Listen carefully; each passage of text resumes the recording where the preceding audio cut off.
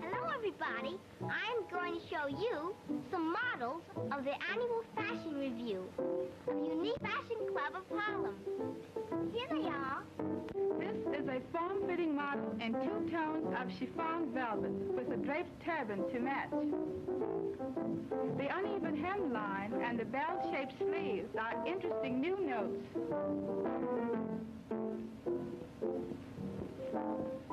This is an afternoon ensemble made of black transparent velvet, trimmed in dyed ermine, blouse of tea rose satin.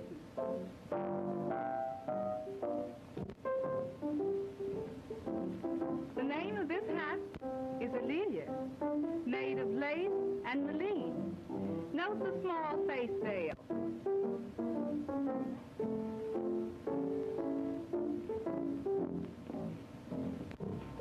Turquoise blue satin has been used to make this lovely evening gown, which is called Am I Blue? Shirring accentuates the new higher waistline, and the circular skirt dips low in back. Deep V neck is very smart.